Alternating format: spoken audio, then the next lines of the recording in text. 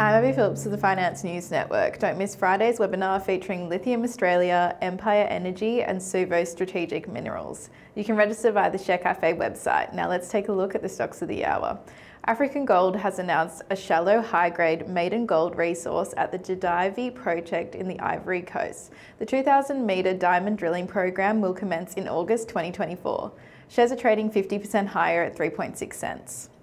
Regener8 Resources has entered into an agreement to acquire the high-grade polymetallic tenement called Achilles North. North Achilles is located within the Cobar district, well known for outstanding high-grade ore bodies. Shares are trading 12.24% higher at 11 cents. Bastion Minerals will acquire three high-grade Canadian copper assets, including the ICE copper gold deposit, the Marina and Harley copper projects in the Northwest Territories in Canada. This is a province with a strong history of VHMS deposit discovery and mining. Shares are trading flat at 0.8 cents.